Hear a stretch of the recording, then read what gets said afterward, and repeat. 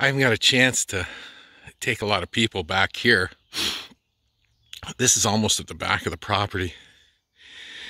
And it's a flat granite slab. that just sits here.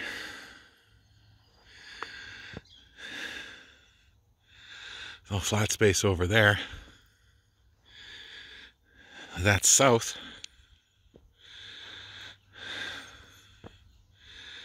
And that's west, leading out of here. So I found a shortcut here and we'll do some tours when people get up here for the summer.